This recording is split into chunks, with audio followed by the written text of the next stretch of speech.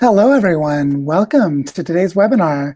I'm Joe Brewer, and I'm going to be uh, your host and facilitator today as we're going to talk about cultural scaffolding and regenerative economics. I'm really excited to have you all here today.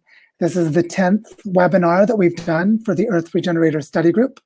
For those of you who haven't uh, joined the study group, you can see a little button at the bottom that says uh, join the study group if you'd like to join us at some point. It's all completely free.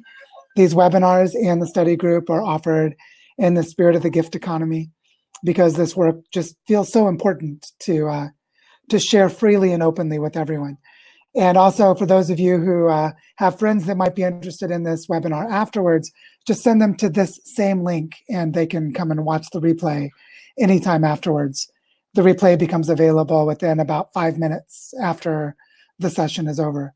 Uh, Today, uh, we're going to be talking about how to create social supports to help us make life transitions. And um, I'd love to uh, invite you, as Diego is so beautifully role modeling, to say hello and uh, and introduce yourself in the chat box on the side, uh, in the sidebar, which is a great place to have parallel conversations. In all of our previous webinars, there's been a lot of activity in the chat boxes with people sharing links and having side conversations. And I think a lot of learning happens there. So please use that chat box as much as you'd like um, to connect with friends, to share ideas, and to participate in the discussion. The general format of these webinars is that I'm going to give about a 30 minute long presentation, which uh, will be about the topic that we're discussing today of cultural scaffolding for regenerative economics.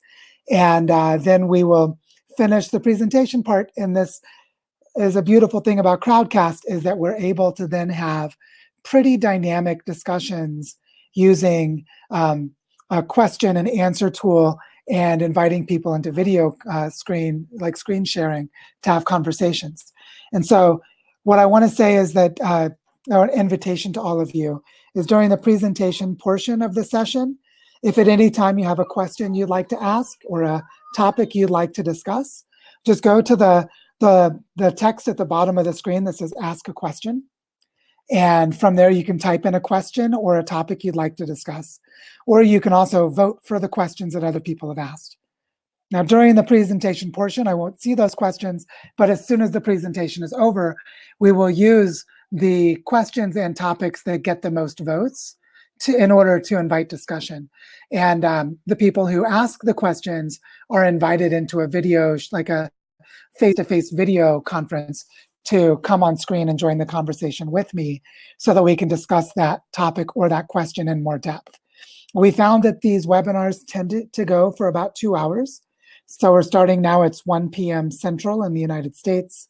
That's also 1 p.m. where I am in Colombia. And uh, we'll go until about 3 p.m. Central Time.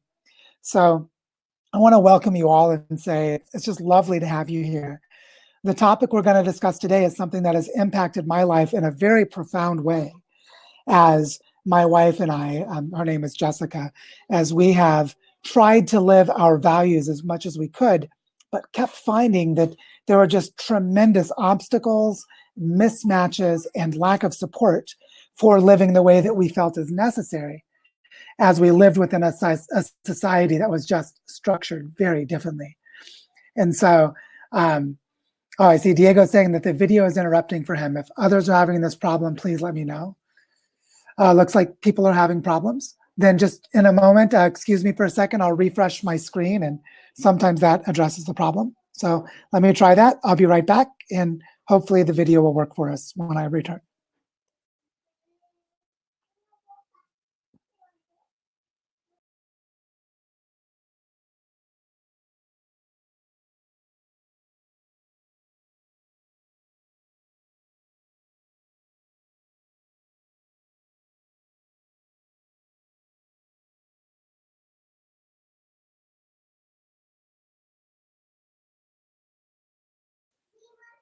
Right, I'm back. Is the video feed working better for everyone?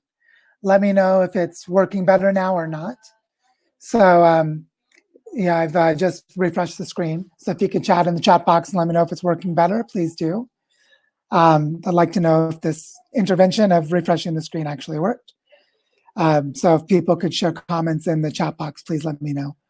Um, in the meantime, though, I'd like to get started in the presentation, but I want to wait until I have some text feedback that the uh, that the feed is coming through before I go into that screen where I can't see the chat box. So if anyone could let me know if you're able to see me and if the connection is working, that would really help. So, um, but I'm not getting the feedback, which makes me worry that you're not seeing me. Let's see here.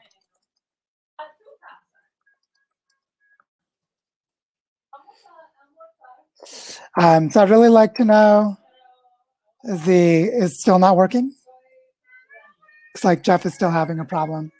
So I don't know if this video feed is working for people, um, but it looks like people are still having technical issues, which could be that the internet connection is weak on my end. I don't know. Um, so I hope that's not a problem for us to continue. But uh, I'd really like to start the presentation portion, and I hope that it works. So um, I'm not, I'm kind of at this impasse of whether I should continue or not if the problem's on my end. But I think for the sake of continuity and flow, I'm going to go ahead and go into presentation mode and just hope for the best. So if people aren't able to hear me, I'll, I'll post that here too. Um,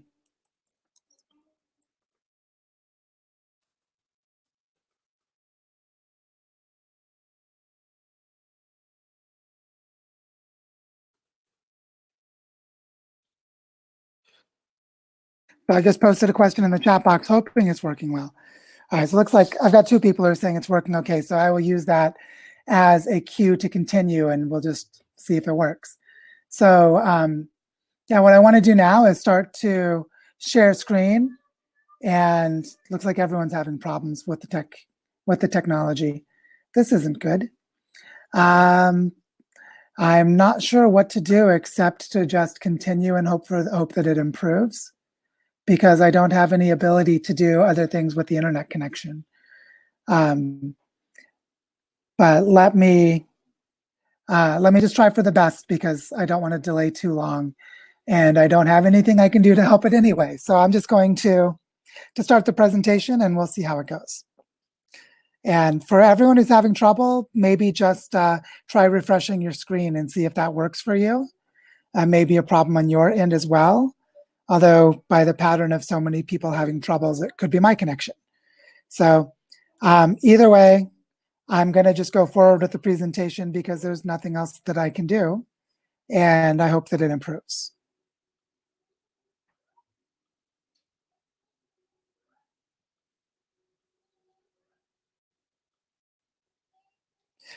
Okay, well, I'm in presentation mode. And I'm just hoping that it'll continue working and that the internet connection gets better. It seems like we're having internet connection problems, um, which is probably on my end, which is really unfortunate, and I'm sorry about that. But I want to go ahead with the presentation um, without knowing if this is going to work. The topic we're going to discuss today is cultural scaffolding for regenerative economics. And as this picture shows, the real focus here is on how can we help each other to do what we can't easily do on our own. And that's really what this webinar is about today. And so um, the way that I want to have this discussion is to talk about a, a, framework called cultural scaffolding that has been really useful for helping me make better sense of how I can get the help that I need and how to help others who are following in similar footsteps to where we're going. Um, and I want to start this off by asking a question that I think everyone can relate to, why is it so hard to make good ecological choices? Why is it that even when our values are very clear to us, when we look around at our options, there are a lot of compromises, obstacles, and barriers that make it feel like even if we do something environmental and say our consumer purchases, that we still end up with problems in other ways, like how we have to get around using transportation, or um, how we need to interact with our family members, who don't share the same ecological values that we do. And so we end up with a lot of situations where our choices are compromised and we're not able to really live regeneratively, even though we do the best that we can. And I think this is a really big problem and something that we need to address directly if we're going to start to do regenerative work in any kind of coherent and consistent way. And the way I want to describe this is using a, uh, an animated graphic that I want you to watch where both of these arrows are pointing and notice what happens when a real snowflake is forming. One thing you can see is that as parts of the snowflake that already have existing branches, that actually the ice accumulates on the tips and they continue to grow. They grow on the structure that was already there. But in the gaps between these structures and the places in between, there's an absence of support. And actually, thermodynamically, the freezing of the water to make ice releases heat. And so it's a little bit hotter in these deprivation zones, which means that it's impossible for ice to form there.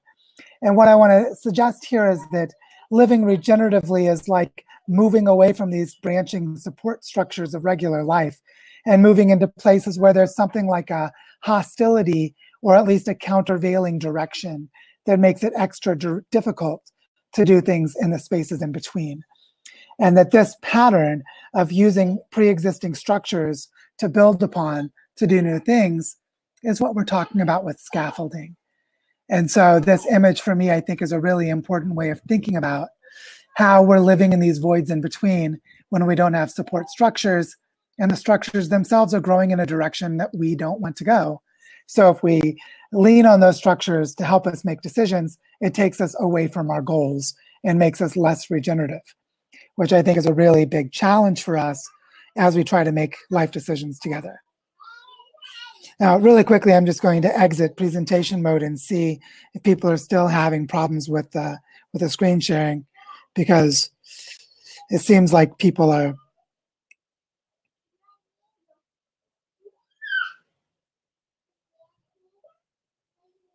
looks like people are refreshing and it's helping them. So hopefully that'll work with other people too. Um, so I see people are having problems and I actually don't have the ability to reset my Wi-Fi. If that's something that um, uh, that people are suggesting. I think I'm going to just continue and, like I said, hope for the best. Um, so I'll jump back into the presentation now and continue and just say, um, sorry about the technical difficulties. Okay, so moving on to the next slide. If we think about scaffolding in terms of architecture, it's a support structure that's used to help the development, you know, the continued building of that constructed edifice. And that the building could not be constructed without these support structures but then it doesn't need them later on. And this is the key insight for us that most of us lack the supports to develop in the direction we need to go. So we're not able to live regeneratively. And if we leave the scaffolds of an extractive society, we find ourselves deprived of support and life becomes much more difficult. And this is why there's so many um, barriers and obstacles and why it feels so heroic to live regeneratively because of the sacrifices that need to be made. And this slows down the progress of adopting regenerative practices. So it's something we desperately need to address if we're going to increase the number of people living regeneratively. So basically, here's what I want to talk about in today's webinar is that there's this gap between why it's so difficult to live regeneratively and if some of us are able to do it, how can we help others to live regeneratively?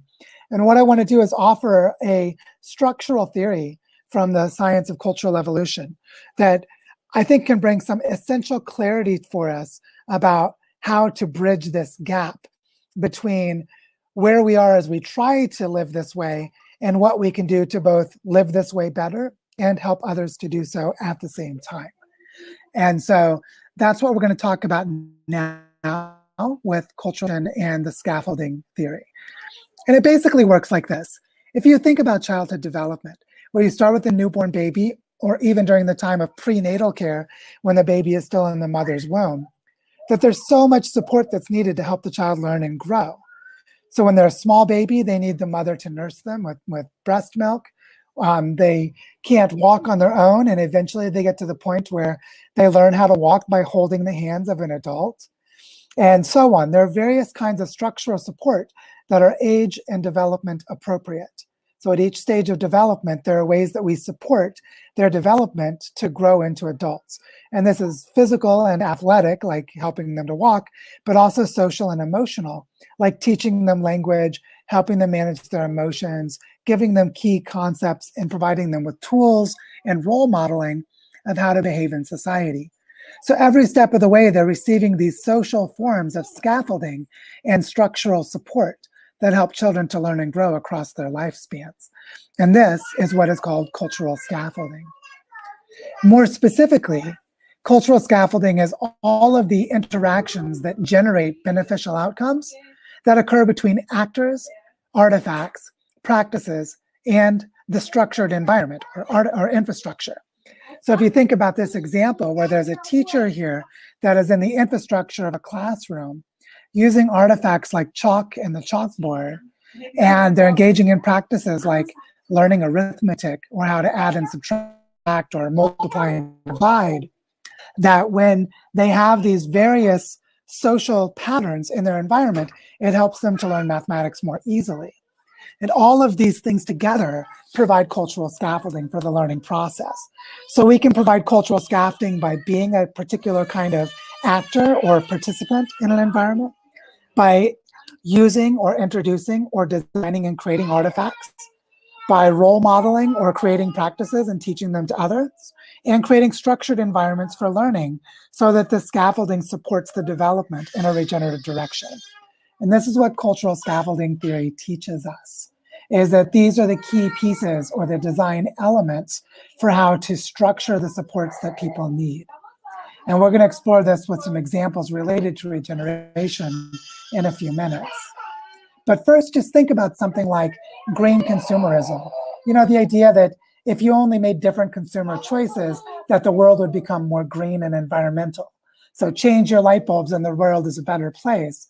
This completely ignores the larger structures that shape how individuals and societies develop with the passage of time. That's because all of us are embedded in larger systems, and those systems create structural constraints as well as supports in some directions and barriers in other directions, meaning that while you might make a small change within a system, you're very unlikely to change the system itself by looking in this atomized and reductionistic way. Instead, what you need to do is disentangle you from yourself from these embedded structures and then start to build the scaffolding to support your own development and the development of others. And that this is actually the way to transform a social system. So this is a really important thing for us to keep in mind as we look at examples like this one. An example of a scaffolded structure or an embedded system is the way that people need to pay rent because there's so much private property. So you might say to yourself, I want to live regeneratively, but somehow I have to pay rent on my apartment or house. So I have to work a job in a city, all of it dependent on fossil fuels or some other thing that you want to get away from because you have to pay rent. What you can see here is that society is actually scaffolded with support structures to require you to be complicit in extractive processes like mining for oil, mining for minerals, destroying mountaintops to get those minerals, and so on. And so this structure of private property and rent agreements scaffolds people's lives to be extractive. So you may do things like join a community um, garden and try to do things that are environmental, but the larger structures of your life are still embedded within an extractive system. Contrast this if with a situation where you have the supports where you might say, I really want to live regeneratively, and there is land and community that can help me, where we have scaffolded supports for regeneration. So there might be really good advice and mentoring about how to live differently, very good examples, case studies, demonstrations of how to live differently. And also to remove these barriers, like to create a community land trust where people don't need to pay rent, or it lowers the cost of participation to live in these places where they become sites of learning and people can engage in regenerative practices together. Here, what we're talking about is changing the structures of our social environment so that it's easier to get away from extraction and also easier to live regeneratively. And this is something we've talked about a lot in the conversation about the Earth Regeneration Fund, but it's something that's also relevant in this specific way as it relates to cultural scaffolding. So when we look at the Earth Regeneration Fund that we talked about in a previous webinar, I had this slide that said that we need to learn how to work as a functioning group and then partner on projects. And as we do this, we create tools and frameworks so that we can cooperate with each other. Now, from the perspective of cultural scaffolding, what we're talking about here is creating mentoring, learning processes, collaborative conversations and dialogue, and collective projects, all of which make it easier to live regeneratively and easier to move away from extractive systems. So I'm explicitly designing the Earth Regeneration Fund with cultural scaffolding at the core of the design process. Similarly, the Earth Regenerator Study Group, which now has about 1,400 members, is an environment that is providing a lot of these social supports as well when people connect with each other and learn and in these webinars, we're also providing cultural scaffolding with shared knowledge, shared perspectives, and the Zoom calls that we have after the webinars. Like for this webinar, we'll have one on the following Monday, two days from now, where we can engage in community dialogue about how to apply this knowledge to our own lives. And so what we're doing is intentionally introducing social supports to accelerate the adoption of regenerative practices within our own lives and that this is cultural scaffolding explicitly built into the process. Now, I want to make this personal for a moment by sharing the story of my own family. So here we are. This is me with my wife Jessica and our daughter Elise uh, on one of the last days when we were in Costa Rica last year. And I want to share how it is that we came to the place that we're doing as much as we are to live regeneratively, and also give you a sense of how long and slow it's been to get here so that you can see what happens in a life where there is not cultural scaffolding a life of trying to do this without the support that's needed and just how how challenging it is. At the same time you'll see in our story that we do have a lot of support along the way but the support is too little and too small for us to make large transformational changes or to do it quickly. And so this indicates that even for us we could benefit from more social support than we've had, or maybe we could benefit from different kinds of social support than we had, and that we want to make those available to other people as we co-create in the Earth Regenerator Study Group. So let's tell, let me tell you our story for a moment. It starts back about 15 years ago in 2005, when my wife and I, it was before we were married, we left all of our friends and all of our family and moved away from Illinois, where we lived at the time, to live about 18 miles outside of town in Prescott, Arizona. The thing I want to share here is that we left everything that was familiar to us and went to a place where we didn't have any friends. It was really lonely and it was a really difficult place to be, but it allowed us to separate ourselves from the extractive systems that we were a part of, at least from the point of view of reflecting and thinking. We had a lot of time to do hiking, did our first bike tour, started to really read and think deeply about how to live out our values. And by creating this separation from our old lives, we lost a lot of social support, but we gained the freedom to make choices in, an, uh, in a less constrained manner. But we were only able to do this by vastly simplifying our lives. We lived on a total of $5,000 for an entire year, which in the United States is well below the poverty level. And so we we barely paid our rent. We were living extremely cheaply. And we were living outside of town in a cabin in the desert where we had a lot of time to think, but very few deep conversations with others. And as we changed ourselves, it became harder to relate to our friends and family from before, creating a lot of obstacles and social challenges later on. So 15 years ago, we began this journey of how to live out our values by removing cultural scaffolding and isolating ourselves. From there, it took us five additional years until 2010 before we were able to stop owning a car. Because in the United States, most of the support infrastructure is built around transportation systems that require people to have a car. When you live in the country, you have to have a car to get to work or to go to the store for example. Or if you live in the suburbs, you need to be able to commute to work. And in the US, there's very bad public transportation systems in most places. So it wasn't until we moved to Seattle that we were finally able to park our car, not drive it for a year, use public transportation and get around on bicycle, and then we were able to sell our car and still live with a functional life in the absence of an automobile. Now, this saved us a lot of money because having a car is expensive.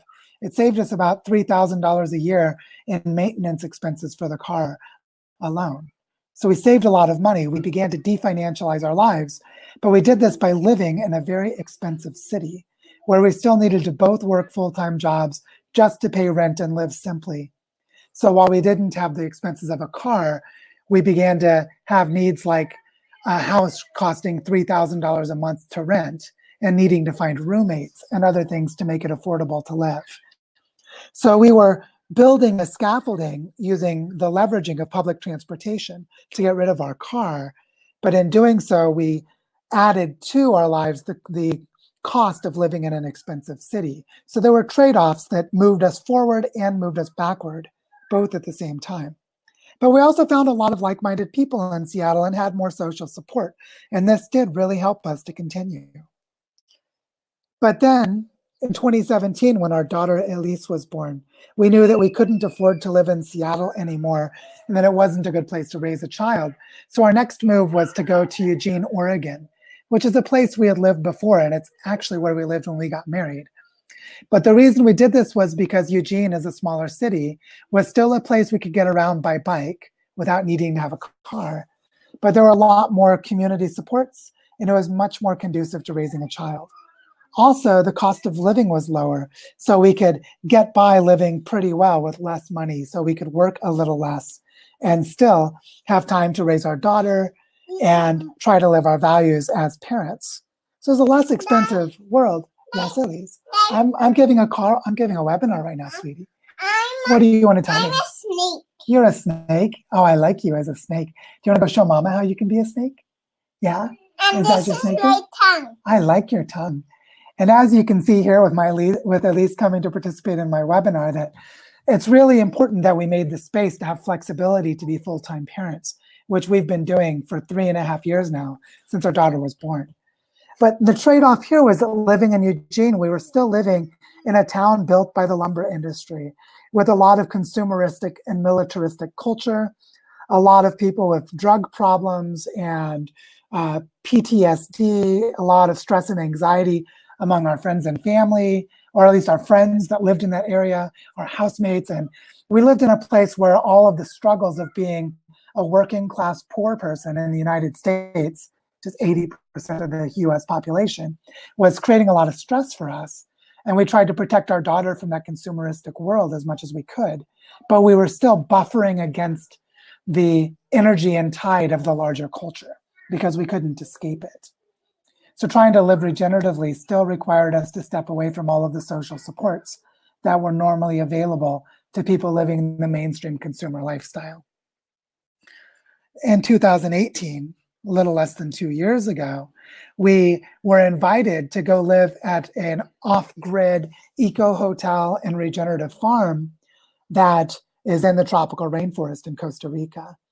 And this was a work trade where we didn't have to pay for rent or for food in exchange for me giving webinars at this hotel so that we dramatically reduced our cost of living. But we went into social isolation. And living at a place that's effectively a hotel meant that there were no children around. There was only one child in the neighboring Pueblo, a little village of 400 people, that about one time a week our daughter could play with another child. And there were a lot of structural problems trying to be a family with a child living in a hotel where they need to maintain a specific kind of professional environment for their guests.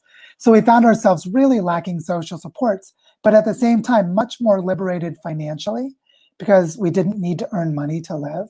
We were able to live very simply. And that we spent a lot of this time for about 10 months learning as much as we could about regeneration and incorporating it into our lives. So again, we were living in the absence of social supports, but having a few more than we'd had before, and actually having a very special financial arrangement of having effectively zero co- um, cost of living so that we could do this for a 10 month period of time, which most people don't get that opportunity. So we were extremely lucky to have that position. And since we didn't have the social supports, eventually we felt we needed to leave. And that led us to moving to Colombia, which we did in November of 2019, a little more than six months ago. And now we're actually becoming part of a regenerative community centered around children and families with their community food forest. And while we have not fully moved away from the extractive economy, we're much further into regeneration than we were before. And so to kind of wrap up this part of the this part of the webinar, I want to say that it's taken us 15 years so far. We're not done yet. We've had a lot of financial struggle and we've had to find creative ways to live regeneratively in the absence of social and financial supports. And we've spent a lot of time being separate from friends and family and having them not really be able to understand us or help us um, or support us as we were going through all of this.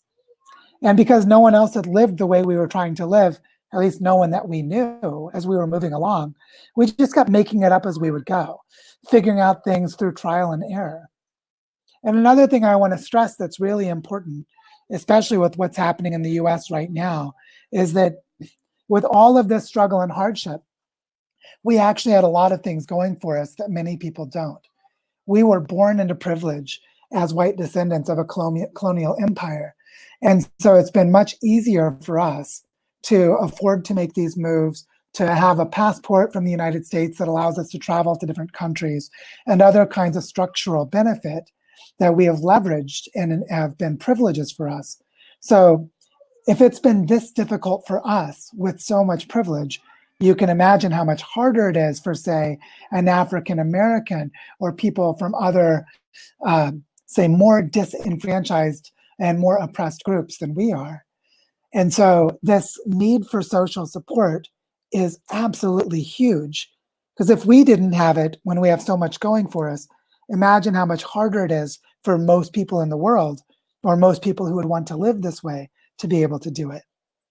So the lesson here is that this need for cultural scaffolding is both central to our work in earth regeneration and it's largely unacknowledged.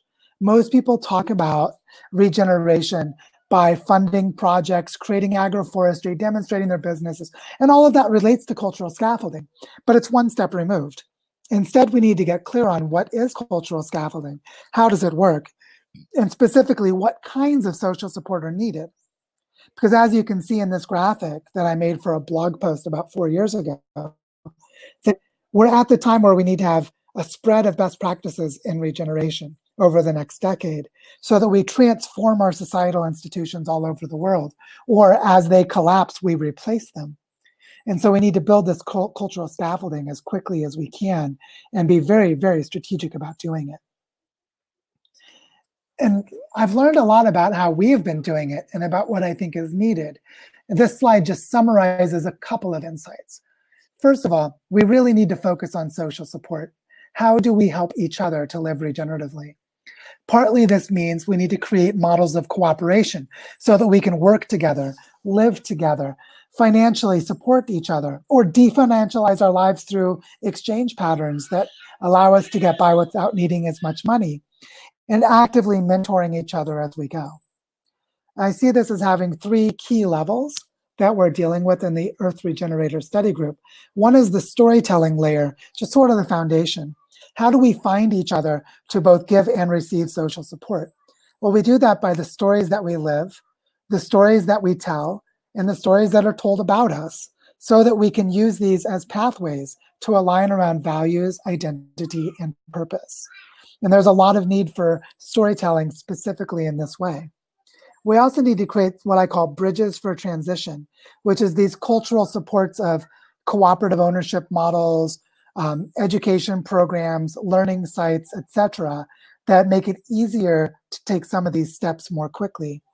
And that we need to organize these bridges for transition at the bioregional scale so that they can start to become more integrated and that they can leverage one piece into another to help accelerate the process of creating these scaffoldings around key land regeneration projects.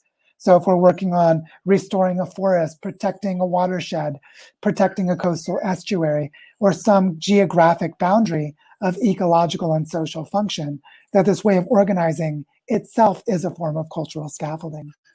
So I see these as all being key pieces of the cultural scaffolding process. Now, I want to talk about how to practice this with um, regenerative economics, but before I do that, just want to be sure that people are, okay, it looks like people are able to see what's going on. Um, so uh, that's good. I'll continue then. I just wanted to stop and look for a moment and then go back to the presentation. I'm glad to see that the seems the connection is working, so I'll continue.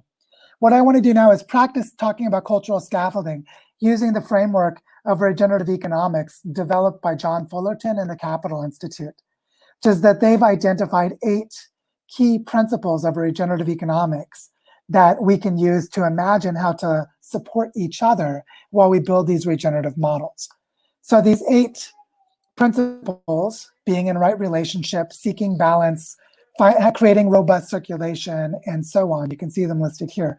Let's go through them and see how do they apply to our relationships with each other.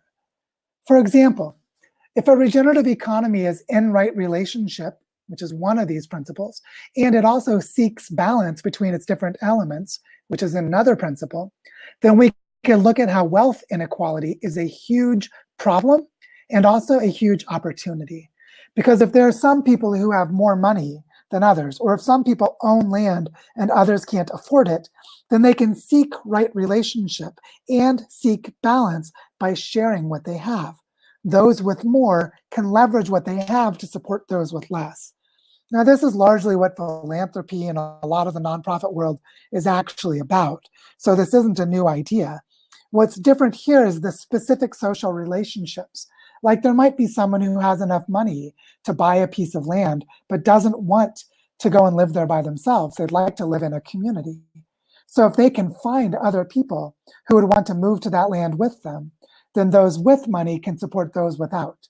And maybe those who don't have money have something else to share, like they can um, maybe they know regenerative practices. They're trained in permaculture and they can lead the project and educate the person with the money or other kinds of exchange relationships. But you can see how the social supports can be can leverage inequality into a condition of right relationship ethically and pragmatically by seeking balance between the people involved.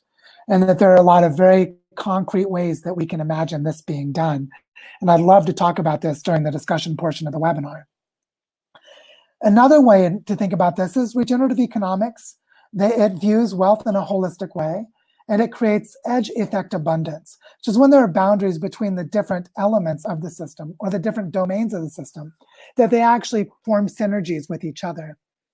I'd like to use the example of the land as a bank that we've talked about in the Earth Regeneration Fund to show how this works. That if we view wealth holistically, then something like water retention, biodiversity, health of soils, the amount of trust in the relationships between people living in a community, all of these things are part of the wealth and the health and well-being of the community. So if wealth is viewed holistically, then you can create a system of exchange around holistic wealth patterns. When you start to do that, those relationships create edges to each other where synergies can emerge. So if you have people who are building water retention systems or doing composting to build soils, those people can also train others or help grow food or um, be given affordable housing. And those who have more money can leverage their money into supporting these kinds of activities. And so you can see that the flow of exchange and energy by viewing wealth holistically allows for these relationships to become synergistic across the whole system, which is related to what I talked about for, before about being in right relationship.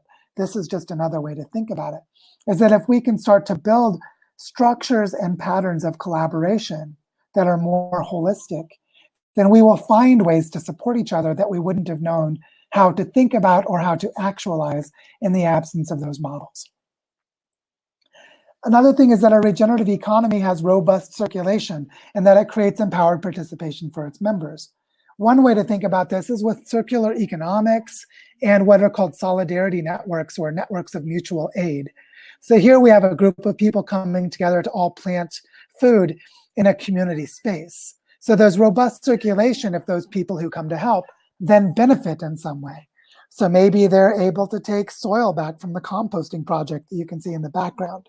Maybe later they're going to get to eat some of this food without having to pay for it. But either way, they're helping to make decisions and they're taking actions that are directed by themselves. So they feel empowered to participate in co-creating these community projects. And there's a lot of flow of value and flow of well-being between the people involved. So we can imagine that using pro regenerative projects and learning sites, or by having cooperative models of ownership with regenerative practices on top of the land, can create these circulation patterns and these patterns of participation for the people, which then allows us to help each other and bring more people into regenerative living. Also, a regenerative economy is adaptive, innovative, and responsive at finding ways to help each other grow. So what this means is that we create the pro-social, the cooperative, generous, altruistic, supportive environments where people have emotional health and well-being so that they can work well in teams, so that they can improvise and solve problems under times of uncertainty. And by doing this, they adapt to changes. They're able to create innovative and clever, clever solutions, and they're able to respond to challenges as they arise. So this cultural capacity of emotional and social learning is a key part of how to build these community structures.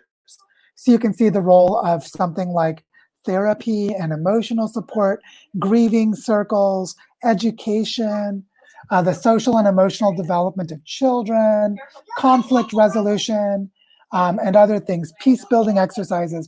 All of these will help to increase the regeneration of the community. Oh, Elise, I see the bottle. Wow, me gusta mucho. Ustedes van a hacer almuerzo. Qué bueno. My daughter and one of her friends are going to help make lunch together, showing that we have a lot of social support where we are, um, which is a beautiful example of, of how we're living in this way. So another example here is that our regenerative economy honors community in place. Yeah, niñas, Les veo, les veo. Qué bonito. Muchas gracias para este. Muchas gracias. They really wanted to be sure I see what they were doing. So I wanted to take a moment and acknowledge that. So here we see that a regenerative economy honors community in place. And there are several ways to think about this. I'm giving three examples with the picture here. One is that one way we honor community in place is by taking care of our elders or raising our children well. Another is the non-human part. Ah, sí, te veo, Elise. Muchas gracias. Te veo en particular. Y tú también soy. Tú también. Tú también. You can see that I'm honoring community in place right now by being sure these two little girls are acknowledged by what they want to share with me. Um, so the reason I put the picture of this fish, which is a salmon, is that there are parts of the world where key animals or plants are indicators of health and well-being and are foundational pillars of the culture. All of the First Nation cultures of the Pacific Northwest and North America have built their lives around salmon. So if you're honoring community and place, you honor the non-human elements of the ecology as well as the human elements. And then, of course, how we heal and regenerate landscapes, like this water retention project that's depicted in the pictures at the bottom. All of these are aspects of how we can support each other. So we might have someone who protects the fish, and we can find ways to give them safe livelihoods for them to do that. Or we might do things like um, come together and build water retention projects. And as we collaborate in these projects and learn, learn together, we're also honoring the places where we live and building the community and recognizing the community that's already there all at the same time. So we can see, you know, to sort of summarize what we've talked about throughout the webinar, that why it's been so difficult to live regeneratively has to be has to do with this structural theory of cultural evolution, which is that most of us have cultural scaffolding that pulls us into extractive systems, and we have the absence or even a kind of animosity or hostility against living regeneratively where we don't have the so social supports that we need. The key clarity for us is that as we learn how to live regeneratively, we ourselves become cultural scaffolding for others. So we need to help each other learn how to live regeneratively to do this well. And we did this just a moment ago by sharing the story of my own family and looking at regenerative economics as a framework of concepts. So the key takeaway here is that we are actually the scaffolding for each other. This is the secret for regenerating the earth. This is something that doesn't get talked about nearly enough. The way we learn how to regenerate the earth is we learn how to get the support that we need and to provide the support for others. So just as my wife and I have been on a 15 year journey where we've learned a lot about what does and doesn't work about living regeneratively, we're trying to share that with as many people as we can to provide scaffolding for them. But also all of the regenerative projects, permaculture camps, eco villages, transition towns, and so on. All of these are attempts to create scaffolding to help each other. But now we need to be very explicit. What supports do I need? what supports can I provide? And what relationships help to create this balance and circulatory flow of being alive together so that all of us can be regenerative in more powering and impactful ways. And that's what I'd love to talk with all of you about now for the rest of the, the session. And so um, I hope that the technology and the, the um, the connection was good enough during this part of the, the presentation part of the discussion. And I'm very interested in starting to have a conversation with all of you. So if anyone has a question or a topic you'd like to discuss, please pose it by asking a question at the bottom of the screen. Also vote for the questions that have already been posed so that you can